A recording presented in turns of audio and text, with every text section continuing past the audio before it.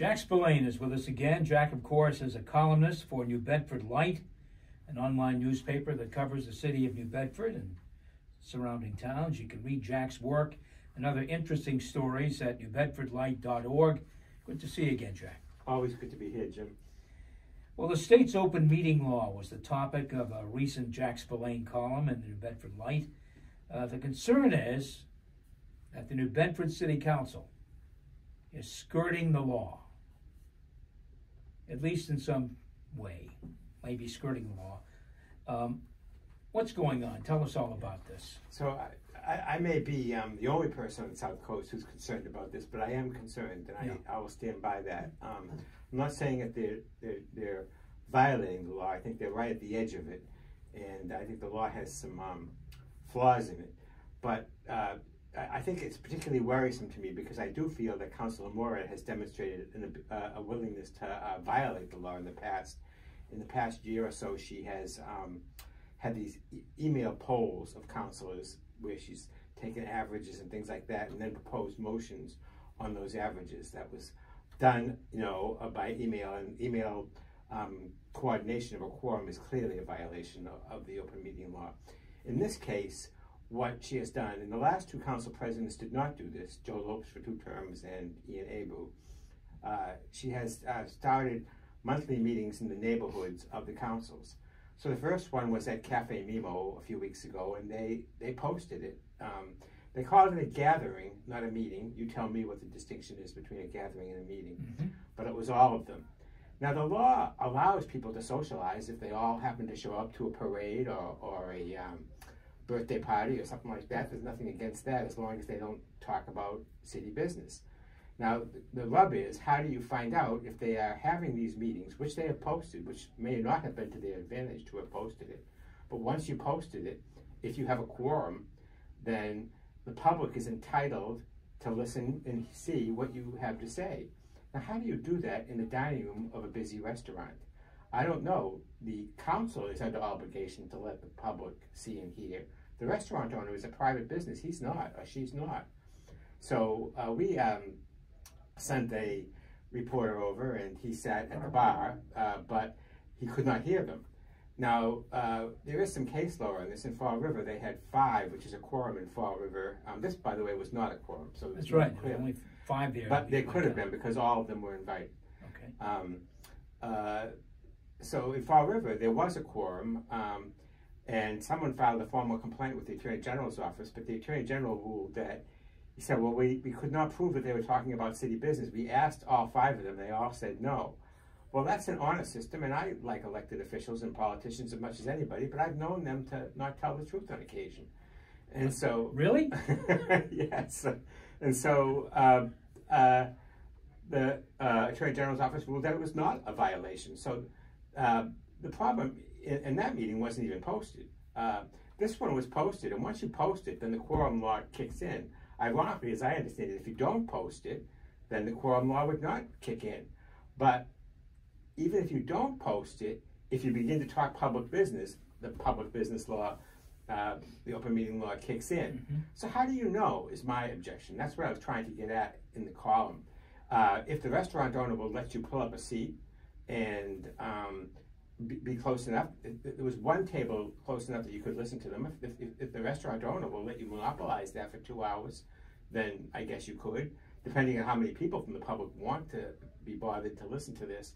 But it seems to me it gives them the opportunity. And if you're going to do it every month, sooner or later they're going to drift in by accident or otherwise into public business of some sort. And because, you know, city bodies, not just in New Bedford, have been known to violate this in the past, I, I just don't think it's a good idea. Now, their counter argument is that this is an attempt to get out to the neighborhoods to support city businesses.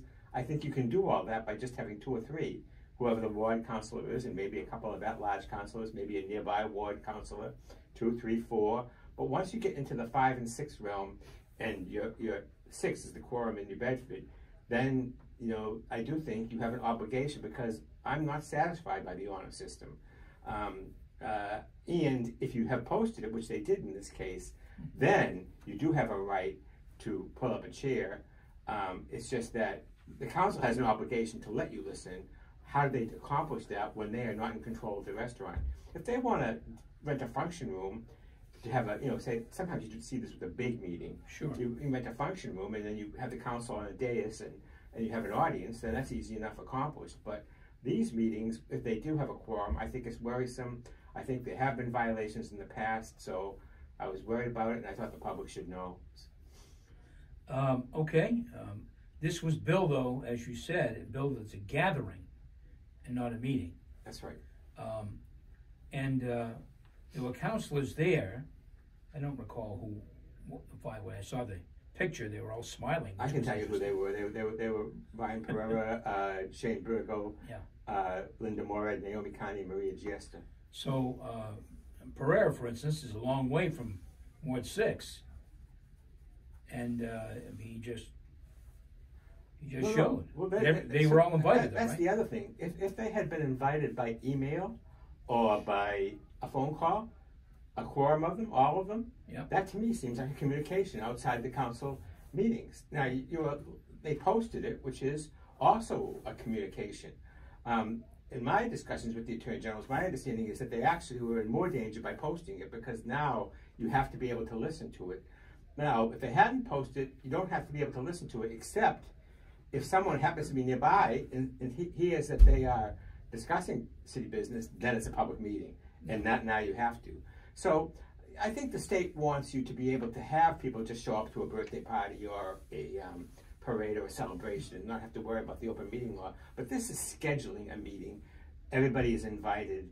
You know, I, I get the purpose, but I don't think you need the full council. I think I think Councilor Morad is very interested in changing the council's image.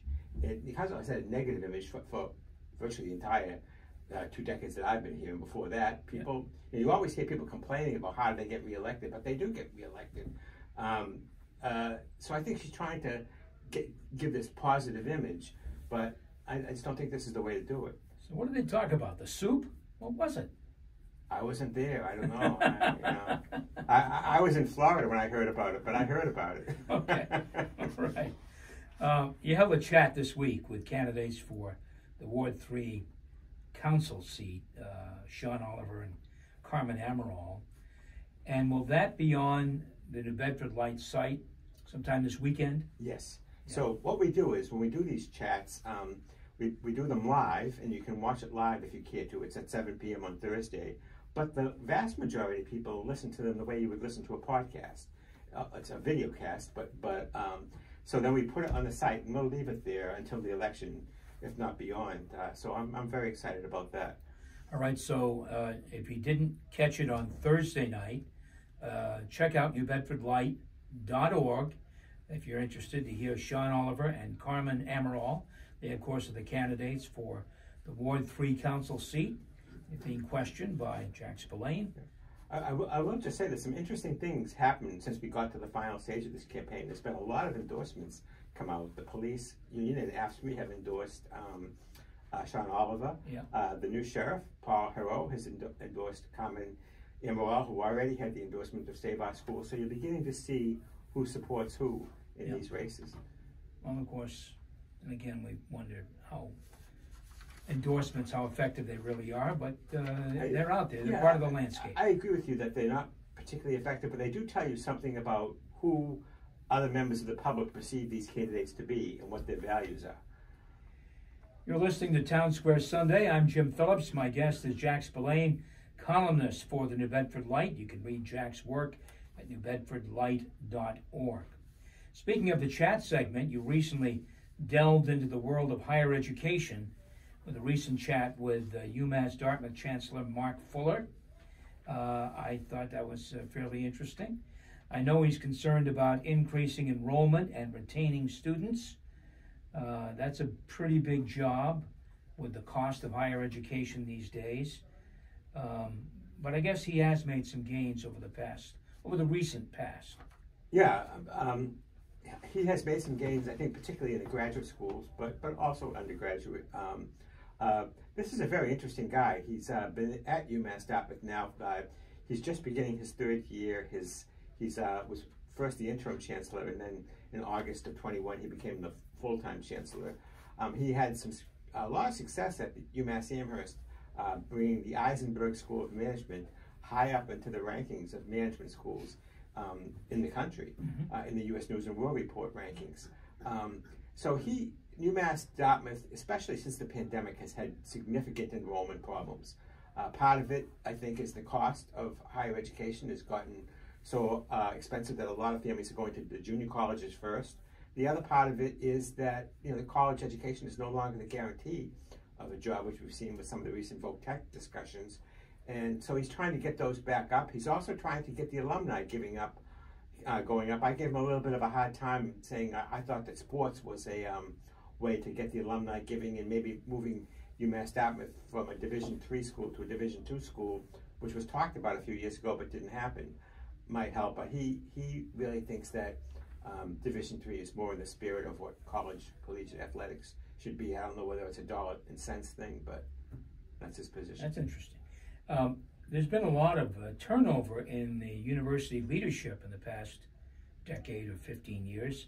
Uh, it was interesting to me that Fuller said he wanted to stay for a while. He Yes. wanted to be there. I, I was very encouraged by that because there has been um, a lot of turnover with um, Divina Grossman. Then they had um, a, an interim chancellor who's from Pennsylvania, whose name escapes me, and then they had Robert Johnson. None of them stayed for more than two or three years, but it all added up to seven or eight years Yeah. at the school. And I think um, I was um, surprised by his candor in, in acknowledging that that may have hurt the school um, in its continuity. Yeah, I, I thought uh, he was, uh, uh, you know, some somewhat refreshing uh, in terms of usually when people in those kind of jobs are somewhat guarded, Yeah. somewhat guarded, but Yeah. uh, he didn't seem to be. Interesting. He he bills himself as transparent. I think he was fairly transparent. He um, I was particularly interested in the SMAST and the um, College of Visual and Performing Yeah. Arts, and although he said he supports both, he didn't make any guarantees, especially with the CVPA um, staying in downtown New Bedford because it needs um, I think it's thirty-two million dollars worth of work on that building.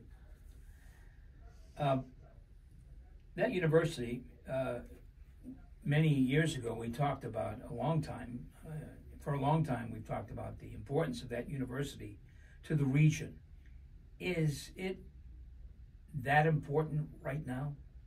What do you think about uh, UMass Dartmouth? That's just a great question, Jim. I think uh, UMass Dartmouth has changed.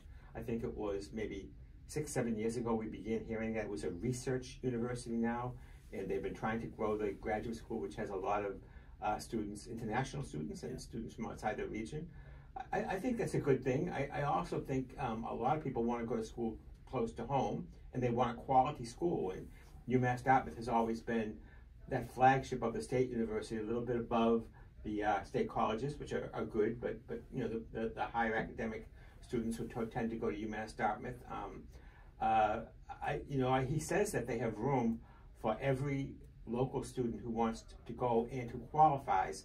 I asked him who qualified, and he said you you got to have about a three point two five GPA. Uh, college board not quite as important as it used to be, but you you got to have more than a B average to, to get in there. Well, there you go. That may be a challenge for many. Look, um, New Bedford School Superintendent Thomas Anderson is a finalist for the job of superintendent in Newton.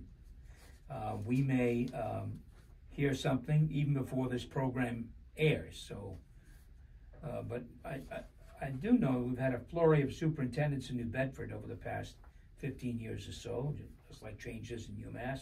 Same thing in the city of New Bedford. We don't know if Anderson is leaving, but I was surprised overall that there's been such a turnover at this position.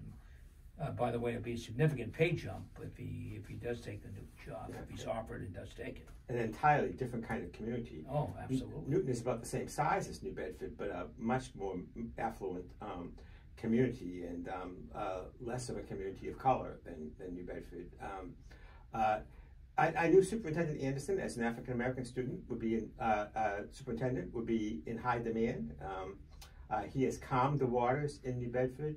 Uh, uh, everybody likes him. How um, much I, I personally was a fan of Superintendent Pia Durkin. Um, I know she was not an easy person to get along with, but she did ask for the resignations of half the, the faculty, and I think that that helped the school in its ability to, to, to get rid of some people who were maybe not uh, doing the job as well as they could have. Uh, uh, Durkin was not sustainable in the long run. Um, Jack Nebraga and I may have been the, the two people that were fans of her in in, in, in the city. And Anderson has been here. It's, it's, it's been calm. The graduation rate is up. I, I would think he's in high demand. And I know he has um, two college age children, so that higher salary may come in handy for him if he gets it. Sure. Um, I, I'll go on record and say I was a fan of Durkin too. Not that I'm not a fan of Anderson, but you know, uh, Durkin was uh, here at the right place and the right time, Yes. and then gradually I- that changed. I think she did the heavy lifting. Yeah. and I think Anderson benefited from the lifting she did. But I also think he is a much more um, people-friendly person and a person that the faculty and um, administrators uh, could have confidence in. Uh, Pia Durkin was kind of like that hired gun that you bring in that she has to do some things and Sure. she does them and and then she wears out her welcome. Jack Spillane, columnist for New Bedford Light, joining us every few weeks to comment on local news happenings in our region. Thanks for your time once again, Jack. Always a pleasure, Jim.